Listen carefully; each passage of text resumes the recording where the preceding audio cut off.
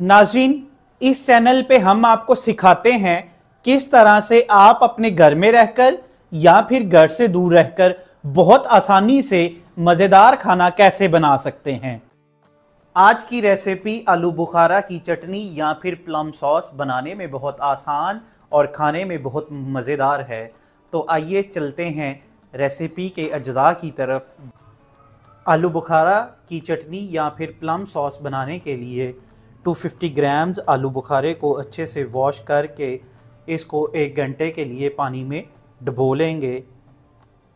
उसके बाद chilli flakes चाहिए हमें, क्यूमन सीड्स ज़ीरा चाहिए, थोड़ा सा नमक और 350 ग्राम्स चीनी शुगर। आलू बुखारे की चटनी में जो सीक्रेट चीज़ हम इस्तेमाल करेंगे, वो खुशकुबानी है, जिसको मैंने अच्छे से वॉश करके पाँच मिनट के लिए बॉईल किया है। बॉयल करने के बाद इसको अच्छे से ब्लेंड कर लिया है। वो इस हालत में आ जाएगी। एक पैन लेंगे। उसमें जो हमने आलू बुखारा सोख करके रखा हुआ था, उसको शामिल कर देंगे। आलू बुखारे को सोख करने के लिए मैंने एक गिलास पानी का इस्तेमाल किया है। एक गिलास आलमोस्ट 250 फिफ्टी एम आलू बुखारे को पैन में शामिल करने के बाद इसको हम चार से पाँच मिनट तक पकाएँगे। मैंने अभी दो मिनट पकाया है तो वो इस हालत में आ गया है। दो से तीन मिनट आलू बुखारों को और पकाएँगे और इस तरह से ढक देंगे ताकि ये अच्छे से पक जाएँ। पाँच मिनट आलू बुखारा पकाने के बाद वो इस कंडीशन में आ जाएगा। जब हमारे आलू बुखारा इस कंडीशन में आ जाए तो इसमें ये खुबानी की चटनी जो हमने बना के रखी हुई थी, वो शामिल कर देंगे। इसको शामिल करने के बाद तकरीबन तीन से चार मिनट तक अच्छे से पकाएँगे।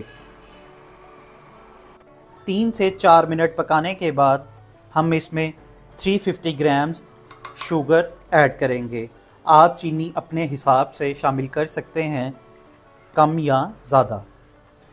चीनी शामिल करने के बाद इसको हल्की आग पर तकरीबन तीन से चार मिनट तक फिर पकाएँगे।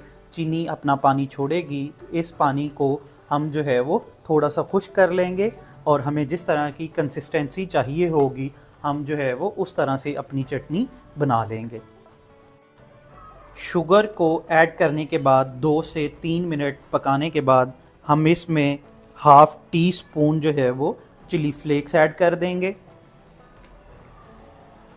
वन फोर्थ टीस्पून हम इसमें नमक शामिल कर देंगे और थोड़ा सा ज़ीरा शामिल कर देंगे।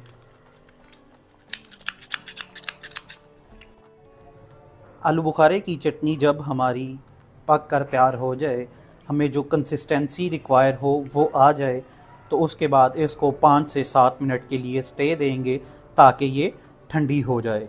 और हम जो है वो एक पैन लेंगे पैन के नीचे हल्की सी आग जलाएँगे। आग जलाने के बाद मेरे पास ये दो टेबल स्पून चारों मगज़ है। हम इनको पैन में शामिल कर देंगे। शामिल करने के बाद इसको हल्की आँच पर तकरीबन एक मिनट तक रोस्ट करेंगे। अल्हम्दुलिल्लाह, आलू बुखारे की चटनी हमारी बनकर तैयार है।